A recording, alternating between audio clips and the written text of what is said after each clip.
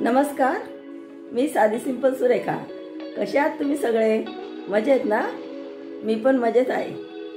आज नवरात्रीचा लाल रंग म्हणून मी आज ही लाल ड्रेस घातलेला आहे. आज जेवणाला बनवते मी मटकीचा रस्सा भात आणि पोळी.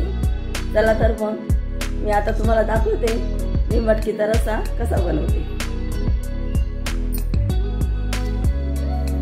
मटकीच्या रश्श्यासाठी मी मटकी ही चांगली स्वच्छ धुवून घेतली आणि त्यामध्ये मी एक अर्धा चमचा मीठ घातले आता मी याची एक शिट्टी घेते कुकरला.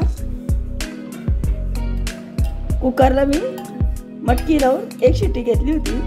ही बघा खूप छान झाली. चांगली शिजली ती. आमच्या घरात ना एकदम असं थोडं शिजलेलंच आवडतं. त्यामुळे मी एक शिट्टी घेऊन घेते आणि मग मी आता भाजी फोडणीला घालते. गॅसवर मी कढई गरम करायला ठेवली व बाजूला पण मी भाजीसाठी गरम पाणी ठेवलंय. आता मी यात तेल घालते.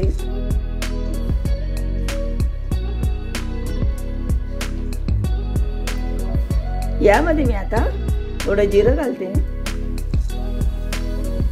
हिंग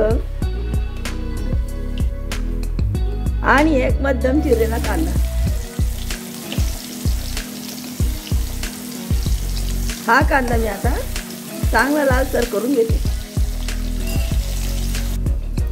इथे मी भाजीसाठी खोबरं आलं व लसूण हे दळून घेतलेलं आहे.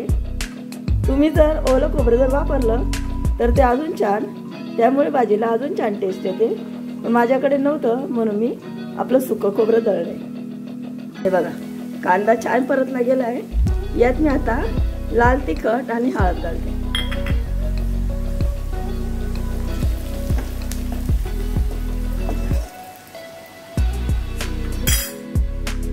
आणि मग यामध्ये ही जी मटकी शिजून घेतली होती ही घालते.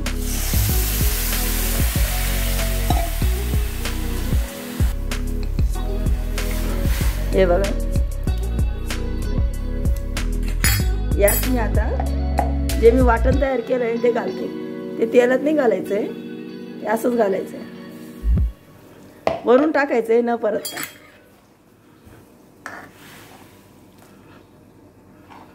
हा रसा फार छान लागतो मटकीचा. आणि भातासोबत खूपच मस्त लागतो. खूपच छान टेस्ट येते त्याला. मी आता यात मला आवश्यक तेवढं पाणी घालून घेते आणि मग तुम्हाला दाखवते. हे बघा. मी आता पाणी घातलं आहे मला आवश्यक तेवढं. आता मी हिला चांगली उकळून घेते भाजीला आणि मग तुम्हाला दाखवते. हे बघा भाजी पण आता छान होत आली आहे म्हणजे झालीच आहे मी आता बारीक गॅस केलेला आहे. आता थोडा वेळ मी राहू देते आणि मग मी गॅस बंद करते.